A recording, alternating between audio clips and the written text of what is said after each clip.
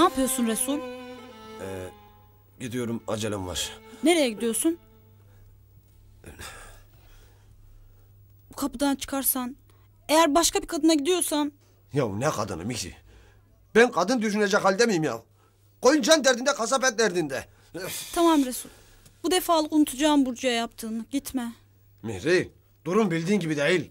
İki gözüm önüme aksın ki iş için gidiyorum ya. İnanmıyorum. Ya inanmazsan inanma be. Seninle mi uğraşacağım ya? Nereye abi? Ya bir de sana mı hesap vereceğim? Allah Allah. Yokum ben tamam mı? Birkaç gün yokum. Yer yarıldı yerin dibine girdim. Tövbe tövbe. Bana bak. Babamlar da yok. Hiçbirimiz yokuz diye zıvanadan çıkmayın ha. Çekil. Çek.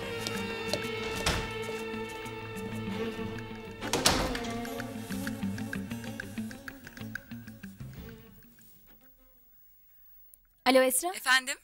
Yarın dersten sonra bugünkü mağazaya gidelim mi yine? Tamam gideriz. Tamam görüşürüz. İşe mi gitmiştin? Ne işi kardeşim? İş mi kaldı? Daha tadilata başlamadım. Sen nereye gittin? Sosyalleşmeye. Ama koca İstanbul buna imkan tanımıyor. Evet ya şaka gibi. Kaldırımlar acayip yüksek. Yurt dışında böyle adım başı bir özürlü insana rastlıyordum. Ne şanslıyız diyordum. Bizde bu kadar özürlü insan yok. Dışarı çıkınca anladım. Hiçbiri dışarıya çıkamıyor. Çıkmıyordun. Çıkınca gördün. Tecrübe ettin işte. Tam olarak ayaklanayım. Gece hayatını seninle tecrübe edeceğim. Yok canım. Sana şöyle daha havalı 90-60-90 mihmandarlar buluruz. Sen bana hadi ben han kondururum civanım. Saçmalama cesur.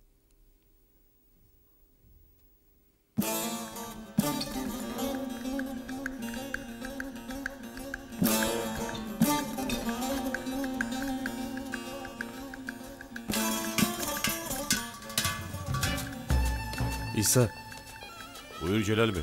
biraz konuşalım mı? Konuşacak ne var ki Celal Bey? Yok mu? Ben diyeceğim her şeyi dedim. İlk mahkemede çıkacaksın.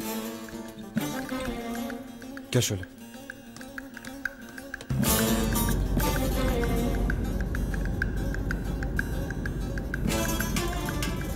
İstanbul dışına çıktık mı? Çıkmadık Resul Bey. İstanbul'un da ucu bucağı yok hakikaten be Rıza.